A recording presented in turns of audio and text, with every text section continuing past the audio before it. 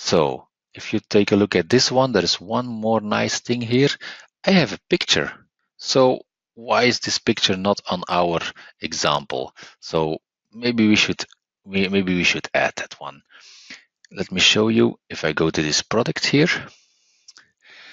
If I go to related, I have a logo for every car. Keep this logo as small as possible. 20 kilobytes is already, uh, it's already a pretty big logo. Uh, four, five kilobytes for a logo is much nicer. Then your documents are, are uh, smaller. You use less storage in Salesforce. Your emails are smaller. Your customers are more happy and everything will work a, a lot faster as well. So in the end, I actually want to just want to take this logo from my file. Huh? It's a file logo and I want to show this on my document. Cool. So let's first do that. What I'm going to do here, I'm going to split these cells. Okay. Oh, sorry, that was not a good idea. Um, what I'm going to do here is just uh, I'm not going to split the cells. I'm just going to add a picture here.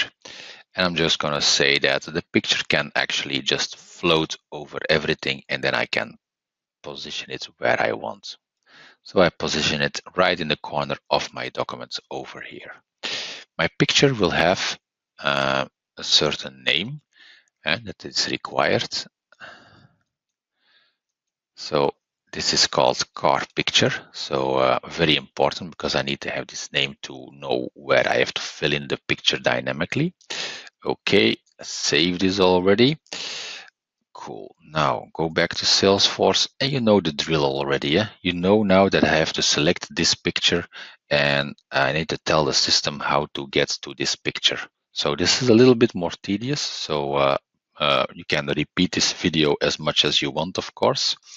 What I'm going to do first is now go back to my very first um, data source. So sometimes you have to refresh that one. Um, okay, so this is my top level data source for my main quote line items.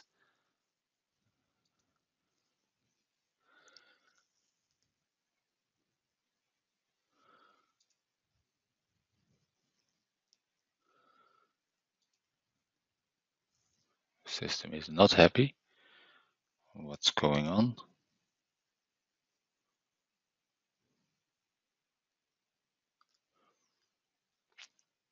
Okay, just a Salesforce hitch, it seems, but I'm there now. Okay, so my Salesforce was a little bit hanging, but now all is done. Um, now back, I'm going to go to the SOQL builder and I'm going to add a field. I'm going to add a field, the field that says which product I'm actually on because my picture is linked to the product. So I'm going to add the field for the product that's identifier. If like this one, it will be the identifier of this product. So the API name will be, yeah, so it's a lookup towards product. So I added this field now. So now the system knows perfectly uh, how these uh, items are linked. Uh, sorry, which product I'm using. And now I'm going to again add a new child data source. So related to this product, I want to have, uh, I want to get all of the pictures. So it's going to be a picture list data source. Okay, I want to get it from files, uh, attachments, that's all outdated. I wanted to start with logo. Um, I'm going to call it Academy Logos Training 1 okay it's linked to my uh, my parent and now the of course I have to now fill in the field manually and the field was uh, SBQQ underscore underscore product underscore underscore C.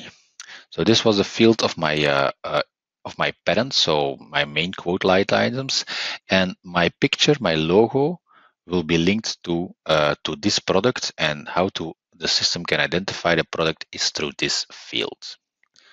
Okay, save. It's now done. The field is there. So only two small steps left. I'm going to uh, upload my file again. Save. Uh, next up is I'm going to add this uh, item here.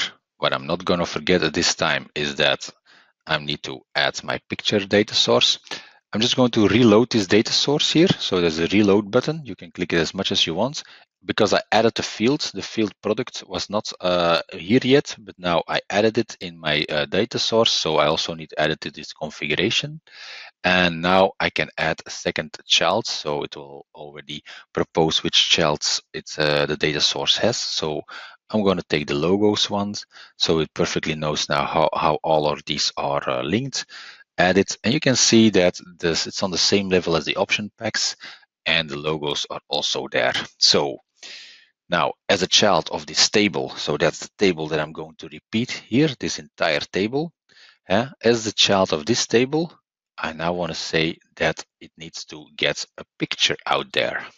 And of course, it wouldn't be PDF Butler if there is no uh, config type uh, called picture to do that. So there's only one data source that has pictures, so it already knows this one. And okay, I want to show the car picture. So the formatting ratio, very important. Uh, I don't don't want to mess up my templates, so uh, I have some room to grow down. So actually, I want to say that the width has to be constant, and the height will be uh, um, will, will scale following the ratio of the width. So even if my picture is a little bit higher than the, uh, uh, the placeholder than I have here, the width will stay the same, but my picture can grow a little bit to the bottom. So that's fine. Okay, save the server. Let's take a look. Huh? Moment of truth. Click the button. And the document is there. It's just loading the previewer and wow, as you can see, exactly what I wanted. I have my overview, I have my car, I have my option packs, all of this structure here. So nicely on the next page, my second car, the other picture. So my perfect structure. Only one